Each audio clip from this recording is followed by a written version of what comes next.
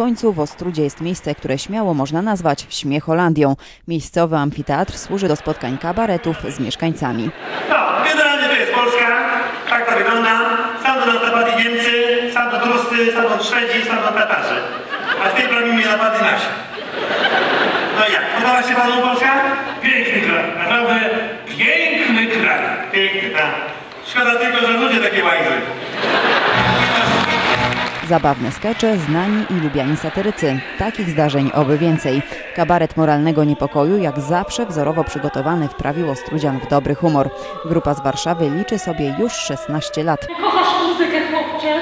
Tak się doradził kurator.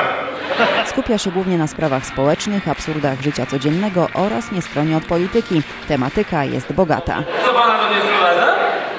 Matka mnie sprowadza.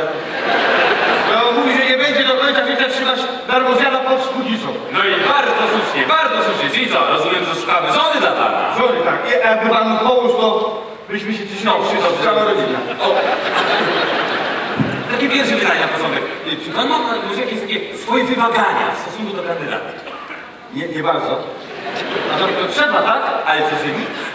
Jak pan ciśnie, to jedno mogę mieć. Żeby ona do mnie nie miała żadnych wymagań. Żadnych. A poza powiem panu wszystko jedno. Wszystko jedno? Raz, dwa polecimy, wszystko jedno. Wszystko jedno to prośnizna. To to pierwsza z drugą idzie dobra. No i już. O, oczywiście, że tak. No proszę bardzo. O. No. Pani Halina.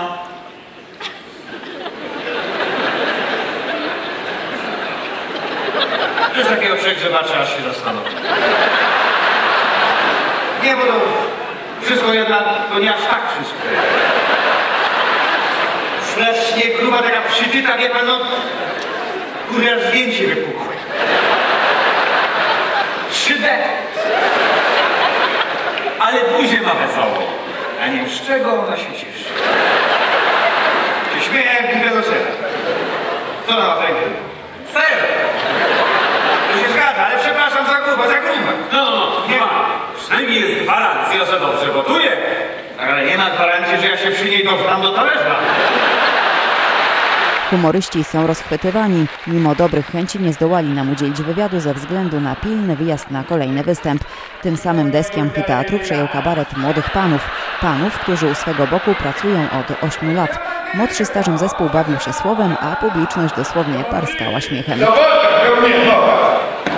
Jeśli nie chce Italianka. Mam 200 zł za mowa. Bez Jak 600? ciągle rośnie, wytrata się łoski ogień.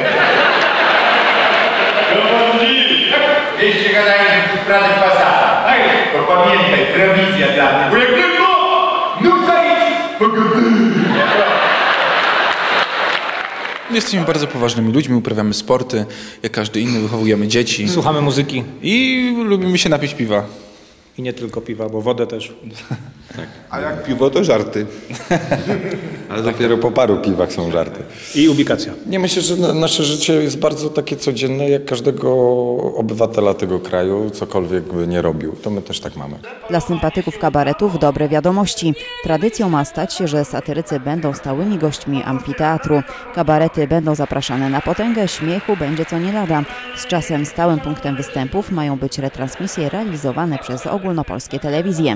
Kabaret jest trafioną formą e, rozrywki w Ostrudzie, jak widać zresztą. E, I będziemy na pewno starać się ją kontynuować. Będziemy starać się na pewno też robić jakąś taką imprezę, którą telewizja by tutaj e, starała się nakręcić.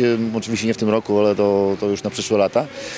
No i następne kabarety pewnie w sierpniu albo wrześniu. Na pewno będziemy chcieli robić trzy uderzenia w roku, przynajmniej kabaretowe.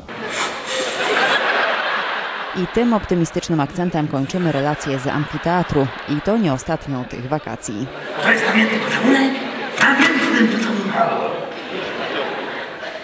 Ja, ja, fajnie. ja.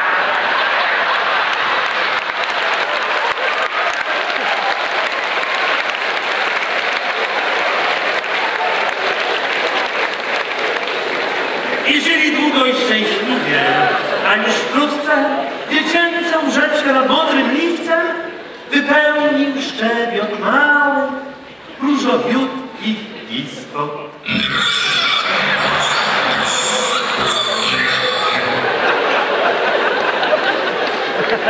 Ale kolor